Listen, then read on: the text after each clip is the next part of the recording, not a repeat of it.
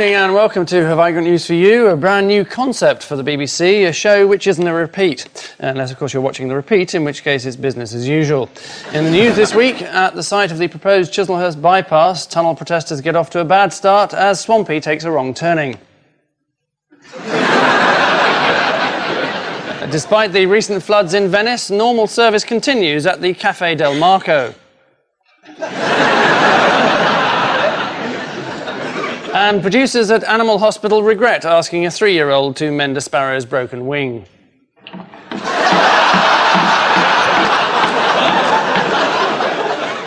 On Ian Hislop's team, an MP who's responded to claims that he'll be the next leader of the Lib Dems with the words, I would not rule anything out or anything in. So the party's traditional policy seems safe in his hands. Charles Kennedy. And with Paul Merton tonight, a musician once referred to by The Guardian as the Gary Glitter of jazz, a purely musical reference. Something their lawyers asked us to point out. George Melly.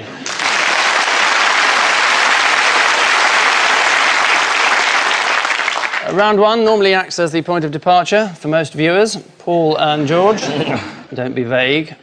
Oh yes, um, this is the uh, the House of Parliament and the House of Lords. Also, there's William Hague uh, here in here in the Good News. That's Lord uh, Cranborne. Craneborn. I think we'll say Cranborne, given that it's his name. You started early.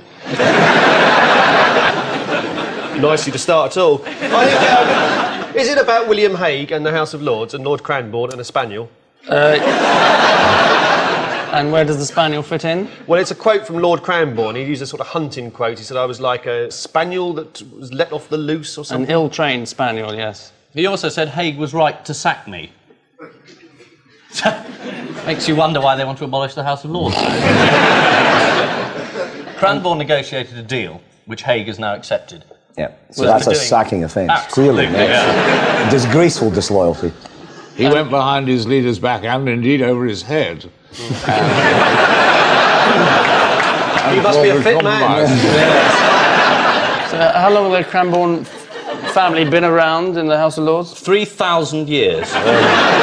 Mm. the first Lord Cranborne was Lord Cranborne of Stonehenge. no, I've no That was when Stonehenge was an up and coming area. And what have Labour said about all this? And what have the Lib Dems said? Any idea, Charles? We're still considering our position. Haven't you agreed with Tony? Isn't that the basic line? Uh, well, They're very cosy, aren't they, those two? What are you suggesting, Mr. Yeah. Melly? just because we're both wearing green, Hunting green, it's a spaniel thing. down boy. Um,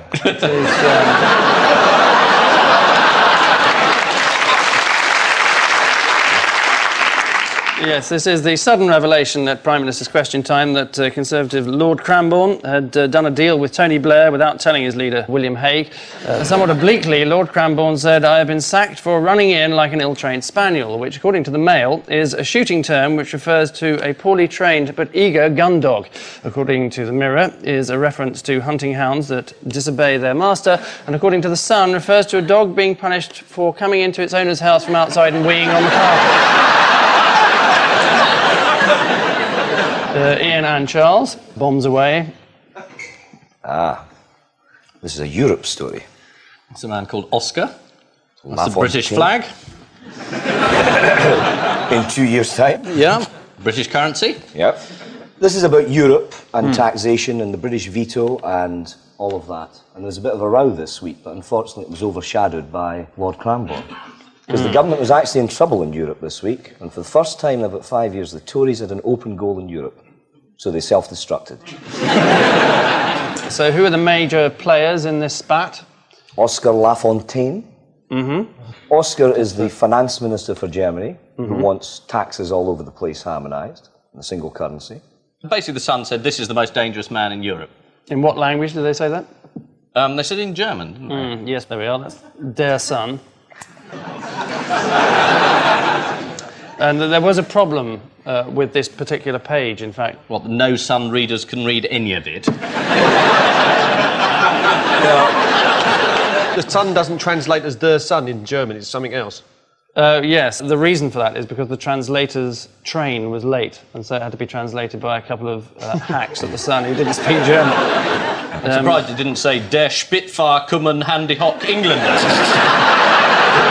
Does, uh, does Oscar appear inside, stripped to the waist? Sadly not. Um, Not fantasising God. Yes, this is uh, the campaign against uh, German Finance Minister Oscar Lafontaine, who wants to remove Britain's right to decide on its own taxes. Uh, the campaign has been led by The Sun, uh, which said this week The Sun is not anti German, this is too serious an issue for gung ho phrases harking back to the war. Uh, later adding, uh, We will fight, fight, fight, and never surrender. This is the biggest threat to the British way of life since 1945. And listen very carefully, Herr Lafontaine, we will say this only once. Their uh, knowledge of World War II seemingly based on BBC sitcoms. Paul and George, Exhibit A. Oh, yes. The Turner Prize. One of the runners ups. Uh, here's the winner. It's the first time for some time that paint has actually been involved with the winner of the Prize. and there he is. He comes from Manchester, uh, where, as far as one knows, there's quite a shortage of elephant shit. Have you seen Man City play recently?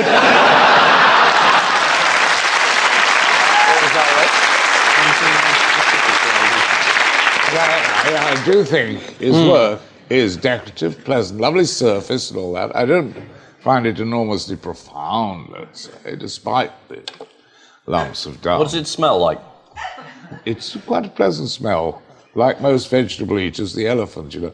I mean, if you'd chosen to use humans, the elephant's fine, like horses, you know. They hmm. smell quite nice. Hmm. Quite nice. How did Yes. you get it onto the pallet? I thought he might just go sort of like that. No, because they're very well modelled, if you notice. There's not Oh, a are they? splosh at all. Oh, right. It's like a sort of uh, a hamburger. It's like something from I don't think you can get away with saying it was something like McDonald's. Legally.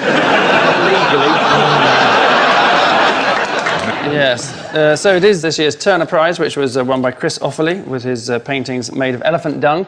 One of Mr. Ofili's uh, elephant dung designs was bought by self styled modern art guru Charles Saatchi, so it's gone straight from one enormous arsehole to another. and uh, finally, Ian and Charles. Uh, this is the BBC, remember?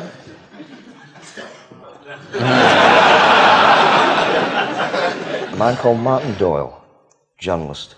Ah, there's William Hague with his supporter. Yeah. this is Mr. Yes. Mandelson, and he was on a visit to Rio, and the magazine made various allegations, which, that other uh, man called Martin Doyle strongly refuted.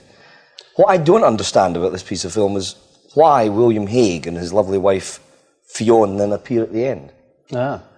But the only thing I can tell you is what a Labour MP told me a while back. Why are there two Fs in Ffion? Because there's no F in leader.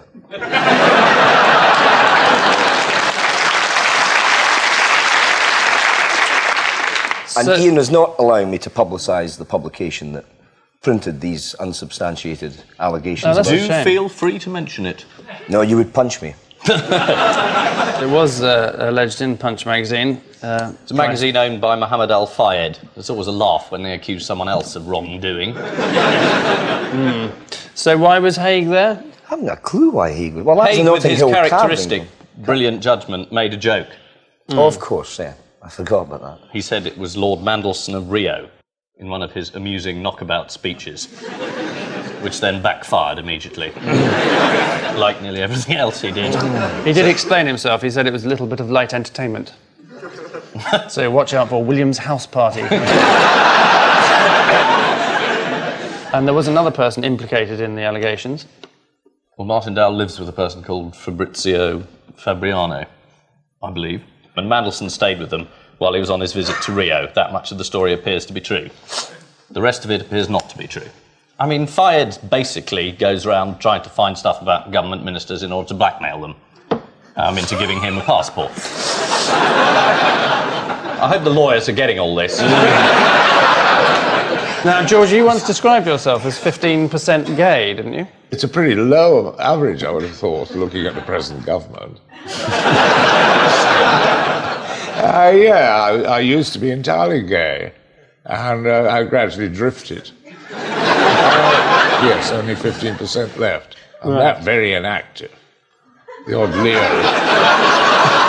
the odd leer at a waiter.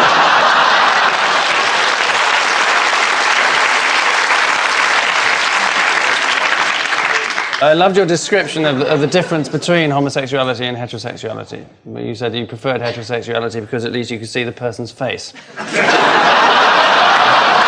yes, this is uh, this week's denial of, uh, of allegations that uh, Peter Mandelson visited notorious gay nightclubs in Rio uh, whilst on a ministerial trip, uh, as maintained in an article in Punch magazine. people were shocked by an amazing revelation that Punch was still going. According to Punch, uh, Mandelson visited a certain nightclub frequented by con men who win your trust, lull you with false promises, and then take all your money. A practice known in Brazil as Goodnight Cinderella, or in this country as voting New Labour. uh, which uh, meddlesome behaviour uh, marked the end of this uh, interference, with Paul and George uh, protesting too much, trailing as they are 5 4.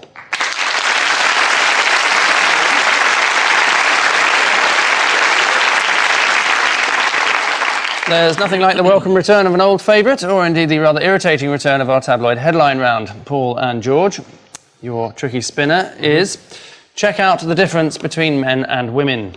It's to do with stress over shopping, isn't it? I get terribly stressed if I have to shop. The very words Harvey Nichols makes me faint. and on the other hand, Old my wife quite George.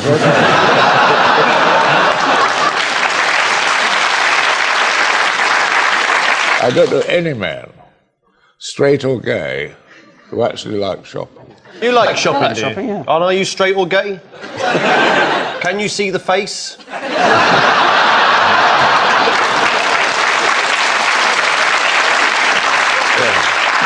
You can if you're looking in the mirror.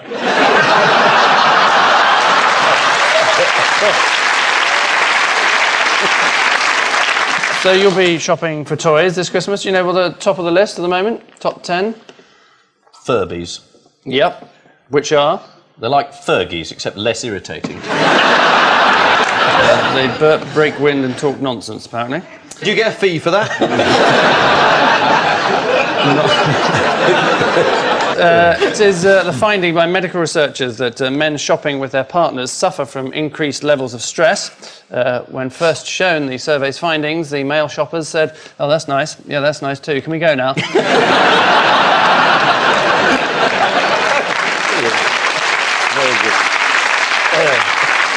Uh, Ian and Charles, Blair and condoms, but no Braveheart. Oh, I think I know what this may be about. Labour have just got humiliated in the north of Scotland in a European by election. They came third, and the Nationalists won it, hence the Braveheart reference. Hmm. Who was second? The Conservatives were second.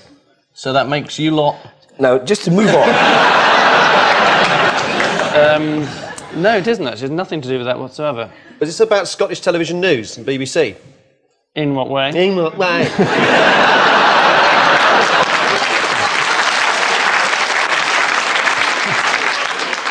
I feel I'm in, a, I'm in a loop of time here, aren't I? Why don't you put us out of your misery?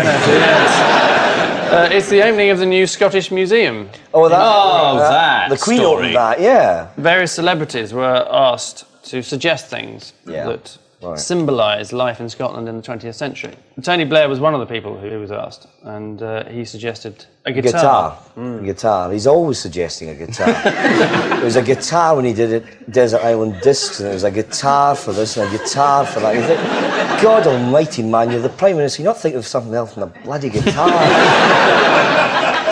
But it shows he's young and groovy and in touch. Rock and roll, The Shadows, Cliff Richard. Yes. Sean Connery, a former milkman, suggested a glass milk bottle. He used to do a milk round in Edinburgh, where people still remember his milk float as the only one equipped with machine guns and ejector seats and capable of reaching a speed of almost 12 miles an hour. Which jiggery pokery brings us reeling to the end of this particular fling, with uh, Paul and George uh, taking the high road, leading as they do 6 5.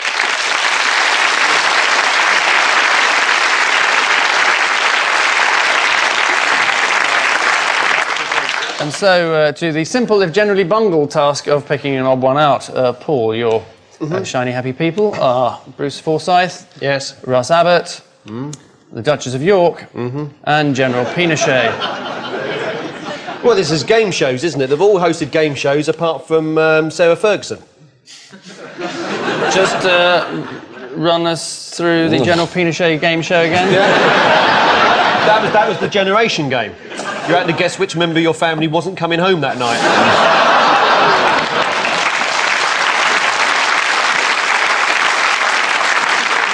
No, I, well, it, it's, it's because he's just moved to Wentworth, isn't it? Where um, on the back and onto the golf course, where where Bruce and um, and Russ um, live, and uh, Sarah Ferguson lived there. She doesn't live there anymore. They live there. He's renting somewhere. She's the odd one out because she doesn't live there, and they do. Is the right answer. There we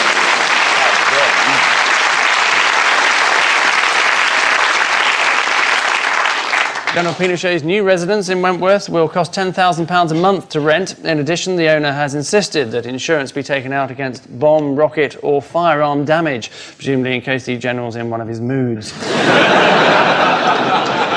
Uh, up until his arrest, General Pinochet had been very fond of Britain and had been a regular visitor. England is my favourite country because of its civility, moderation, and respect, said the bloated old mass murdering bastard.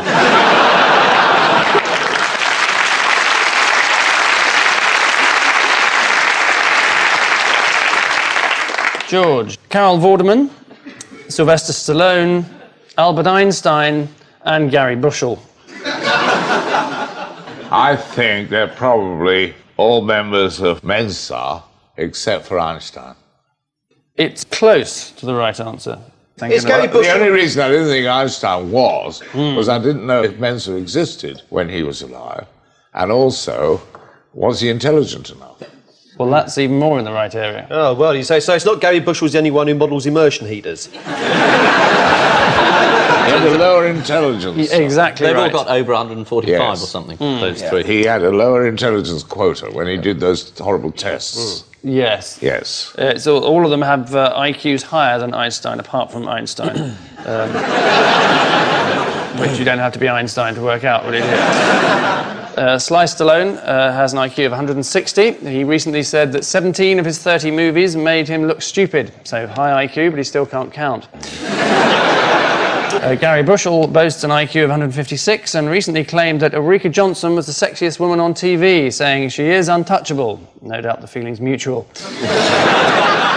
Uh, Ian, Christopher Robin, Michael Jackson, a Richard Branson, and Sir Peregrine Worsthorne, former editor of the Sunday Telegraph. Yes, and former um, school friend of George Melly's. This is a school question. The link between me, uh, Peregrine Worsthorne, and Stowe. Michael Jackson's put his son down for Stowe. Worsthorne was at Stowe, and so was um, Branson, and I suppose Christopher Robin, who was real. He was A.A. Milne's son. So they all went there, except Michael Jackson, who's sending his son there. Is a perfect answer. Um, but uh, George's was rather more interesting. So, George. Um, so, what exactly happened? Um, Nothing. right. Because he claims, of course, He that claimed. uh, you seduced In a book at on the public schools, in which he wrote a chapter in which he said he had a perfectly miserable time at Stowe. I had a rather good time. he said that I seduced him expertly, expertly I like, on, the, on the art school couch. Eventually, a, a review came out, I think by Robert Morley, saying, I shall never speak to George Melly again, seducing poor little Peregrine. So I wrote, pointing out he was three years older than me. Now, this didn't rule me out seducing him, but I wouldn't have had the nerve, really. Although I would plead guilty to uh, Congress with many Stoics at the time. Peregrine? No.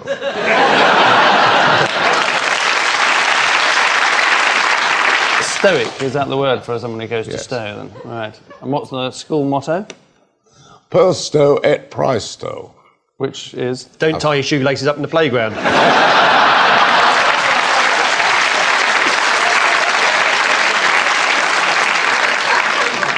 Peregrine Worsthorne caused a sensation in the 70s when on live television he remarked that no one gave a fuck about certain rumours involving an MP's love life. Of course, that was in the rather old fashioned days when a bleep covered the F word, whereas now it covers the MP's name. and uh, finally, in this round, Charles Paddy Ashdown, Uh-huh. John Prescott, a bowler hat, and the Thai football team. God, this is mission impossible. Um, God, they've all been on it. Is John Prescott the only one who's auditioned for Doctor Strangelove? I am absolutely at a loss. It's jumping out of an aeroplane, isn't it? Parachuting out of a plane. In what way? Well, is it or isn't it? No, it isn't. No. Right, I won't bother then. That breath I saved then will serve me useful in, in you know, Yeah. later life. When I'm about 70 odd, I can just go, done? and that would be the breath I could have wasted. Well, I've wasted it now by explaining it. ah. Do you take this woman to be your lawful wedded wife? In what way? The only thing I can claw my way toward, I don't think it's this either. Paddy speaks Mandarin. I don't know if they speak Mandarin or some such in Thailand. John Prescott sounds as if he speaks Mandarin. and the bowler hat bowler hat? presumably doesn't speak any language at all. It's, uh, it's an inspired guess. That's uh, um, right, I'll shoot myself. It's round three. You know uh, it's round three, but that's a clue.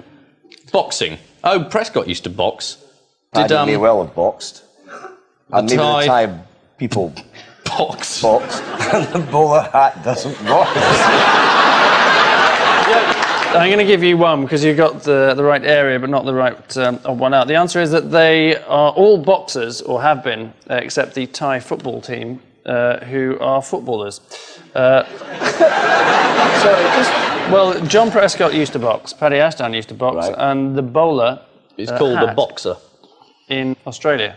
Yeah. So yes, they're all boxers or have been apart from the Thai football team, who are footballers. Uh, although, as this clip shows from their recent match against Qatar, they occasionally get confused.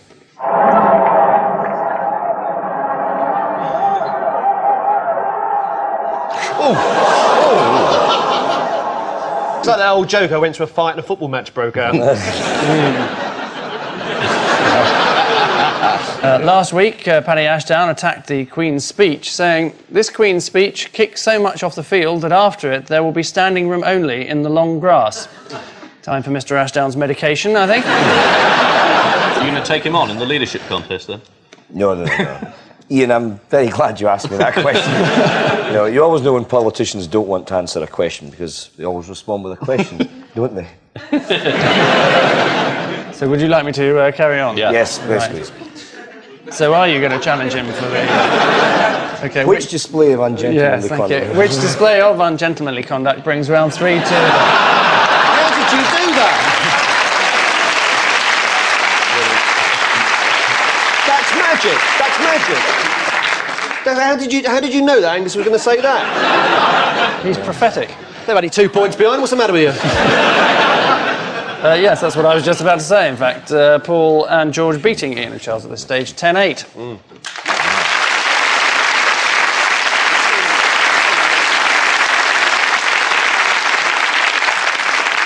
And so to the unlikely pleasure of our final missing words round, our usual swathe of hand-plucked headlines interspersed with one or fewer from this week's guest publication, the never less than exciting Laundry and Cleaning Today. Uh, yours for £3.50 or £5 if you want it today. So let's up and at 'em with what isn't too good, says My Prescott. grammar, or grammar my, I think he said. Yeah. My Queen's English. It was a reference to people being snobbish about My Queen's. German.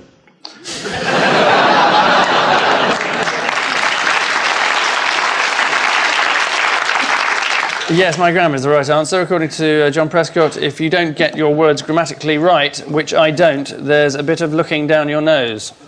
Job on the sun beckoning. uh, next, what flies off without warning? Clintons.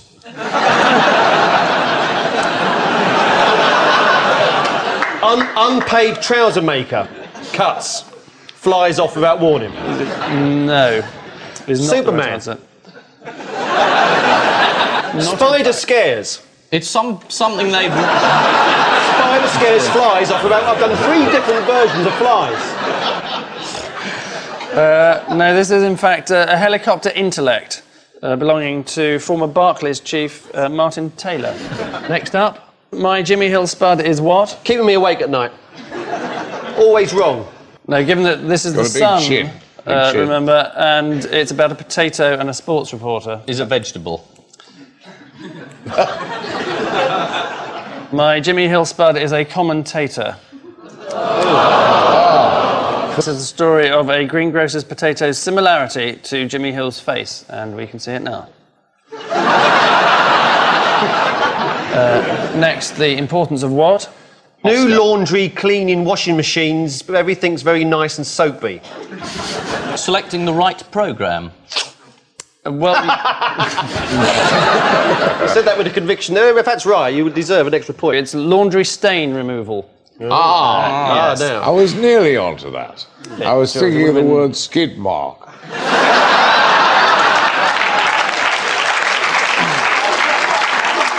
And lastly, what to atone for sins, says Pope? Indulgences. By indulgences. The Catholic Church is going back to the Middle Ages. No, it's actually an instruction. Do something to atone for sins, says Pope. Kneel. Face east. Help old lady. Attend mass. Face ache. Attend mass. Uh, no, it is in fact quit smoking. Uh, so, God knows what his cardinals will do after sex now. You're a bit of a smoker, I gather. Is that right? yes, I smoke cigarettes. Yeah. Right. Have you tried giving up? Yep. Did? Succeeded and then failed. it's a good liberal democrat approach to non-smoking. Uh, which uh, desperate Scrabble means at the end of tonight's charade, uh, this week's there Fergies are Ian and Charles with 10, whilst this week's Furbies are Paul and George with 11.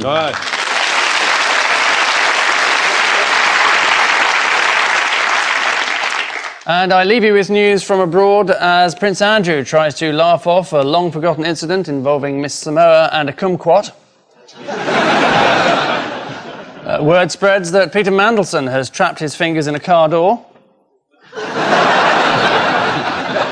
And at the Grammy Awards in LA, there's a rare public appearance by the millionaire songwriter who wrote Smack My Bitch Up. Good night.